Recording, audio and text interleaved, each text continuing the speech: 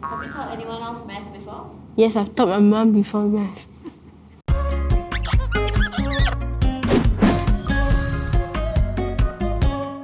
Hi, I am Deva and I just have completed my PSLE. I'm with my mom today to show her how I solve these problem sums. Rafael travelled 776.32 kilometers on the first day. He travelled 31.05 kilometers on the second day. What is the total distance he travelled? Estimate and then calculate. Draw a diagram to explain your answer.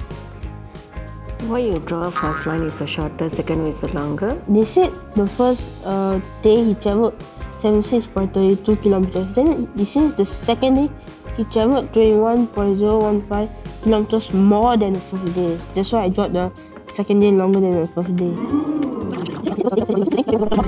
So it says the first day he travelled this much, then the second day he travelled this much but this much more. So I add the these two first, then I I add up this one, the extra kilometer, then I get my total. 173.6. Yeah, correct. Yeah. Thank you for watching this video. Yay! I'm an MCE Mini Math Master. Bye.